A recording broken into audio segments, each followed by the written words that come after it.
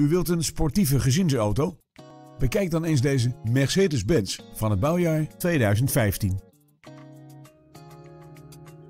In het sportieve interieur vinden we cruise control, full map navigatie en snelheidsafhankelijke stuurbekrachtiging.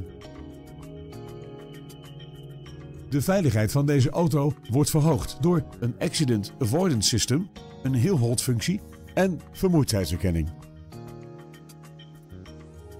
Tevens wordt deze auto geleverd met Nationale Autopas.